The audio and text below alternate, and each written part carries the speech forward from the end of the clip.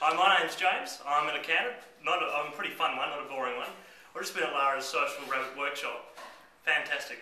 Uh, a few things I didn't know about Twitter and LinkedIn that I never, I never knew before. I think everyone should come and have a look how we can use these type of things.